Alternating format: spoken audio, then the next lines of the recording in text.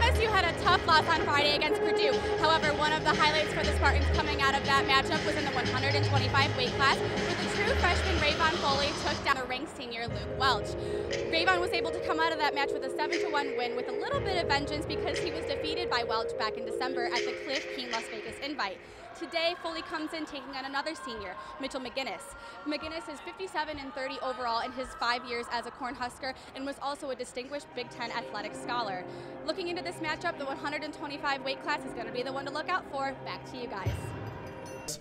Remi, this game is really one the Big Ten's been waiting for all year long. Talk about the standings implication here today. I mean, there's only one ranking spot differing between the Big Ten rankings and that AP Top 10 poll. It's second and third place, and then third and fourth place. However, if you look even at the start of the season, Purdue wasn't even in that top 25 ranking, so they've really made a comeback. Let's talk about the Boilermakers a little bit. They're coming off their first loss thank since Thanksgiving against the Ohio State Buckeyes. Another Big Ten standing implication game there at Mackey Arena on Wednesday. One basket was all it took that day, and they only lost by one point. So to see them come out of that game and lose was really, I mean, they had that, they had a lead the entire game. So they really need to step it up when it comes to this game on Saturday. And for Michigan State, they've won seven in a row. Sure doesn't feel like that around these parts. No, not at all. I mean, they've the last two games they've only won by three points, so they've really got to start upping their game a little bit. But I also don't think that them having close games is a bad thing because come tournament time, you're not going to see them win by 50 points like they did with Savannah State. We're going to have a good one on our hands here at the Breslin Center. Purdue, Michigan State coming up next.